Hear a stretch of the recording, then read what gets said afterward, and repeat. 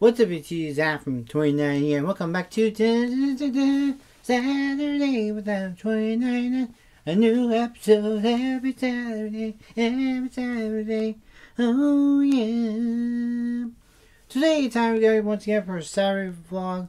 Once again, I think it's pretty awesome to do this once for a while and all stuff. But anyways, guys, I just wanted to quickly guys know that I did work with survival um last month. Pretty um when I done pretty cool and all that stuff. Pretty as you've seen with that. So this is from the other day and all that stuff. Pretty cool. This is uh Storm Stormtroopers, um the book book of Boba Fett. It's pretty cool. It's a uh, Star Wars franchise and um but yeah, this is what good guys what I've been doing and all stuff, but particular thing for sure. My um let's see, the awesome good socks. And I got some uh some uh lights as well. Pretty cool as well. I think I managed to do this one thing for sure. And I think I'm, I think I'm not taking over the tripod and um whatever. But it's hang on a second. They're like these right here. But I think it's cool, awesome. But just tie, tie up a little bit, a little bit interesting. But I think it's pretty cool to have this one. Now there's four of them in, total. I think I have the box. It's in looking for sure. Uh, do I have it? Um, but it's over there. And something like that. But yeah. So basically, it's pretty good. I think it's pretty good.